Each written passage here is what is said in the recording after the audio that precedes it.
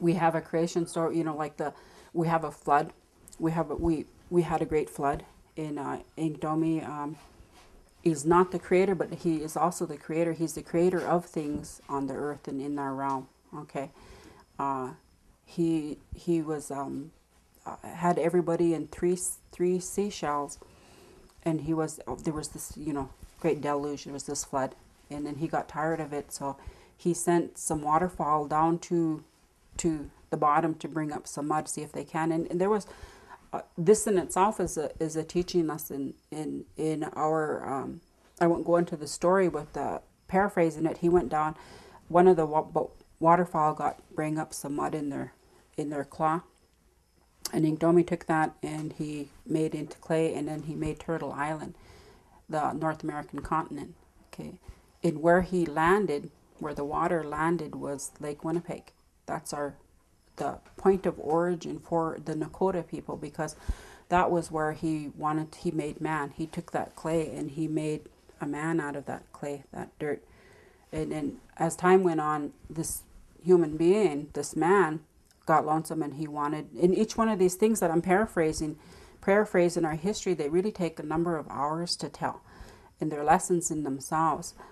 But this human being, this man, he got lonesome so uh, Inktomi made female from, and unlike the rib of in the dominant society's religion where they take the rib from Adam, they took the leg from Inktomi, the thigh bone from Inktomi, and made the female.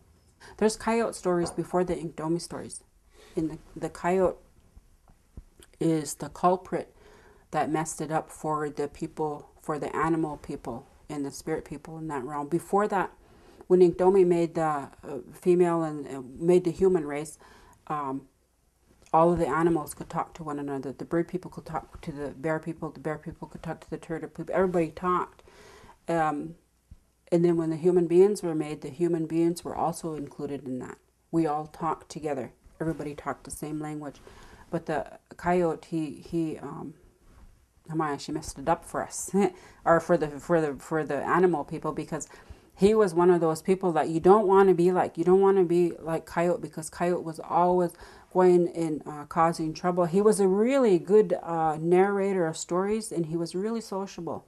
He's a really a sociable person, and uh, he had a very excellent way of getting the story, the current happenings of what's going on with you, and people really liked liked to visit with him. And he would come and he would visit in your camp, your your teepee and he just really, you know, like or, more or less like pump you for the information. And he was he, he was so good at it that that you know you'd end up telling him all of the stuff, you know, and then he'd go visit to the next teepee and he did you hear about you know and he'd just cause trouble like that. He'd go from person to person causing trouble. And so it caused so much trouble that um, how Inktomi handled it was okay well now the animal people can't talk to the humans okay so the human beings but we're still human there's no differentiation from human being versus a bear being a human being. They're just a different uh, band of people, I guess you can say, is how, how it relates over to. But anyways, um, uh, Coyote it for, and there's a lot of stories.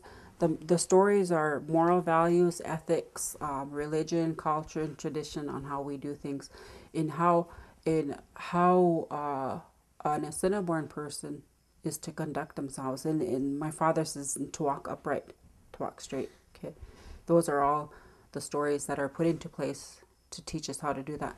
The Inktomi stories come later, in but then uh, on this chronological history too, Inktomi is before Coyote.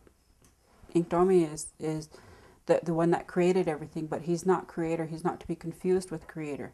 Okay, but then Inktomi um, I guess he spent his time with, with those animal beings first, and then he spent a lot of time with us humans, and then and now we're now we have moved forward in this timeline to where now we're in the society that you see now. Okay, that time frame.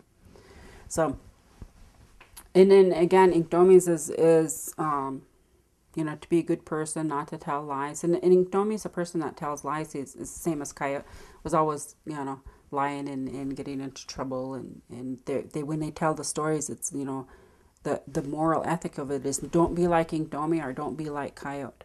you know Assiniboine people do it do it this way and do it that way. There's a whole series of those those um, there's I don't know if the, you wouldn't call them myths or legends because to, to us they're real. They really did happen. Okay. When Inktomi was floating around on the, the seven seashells with the animals and stuff, that, that really happened for us. It's not just a legend or a story. You know, that's our history. It's who we are.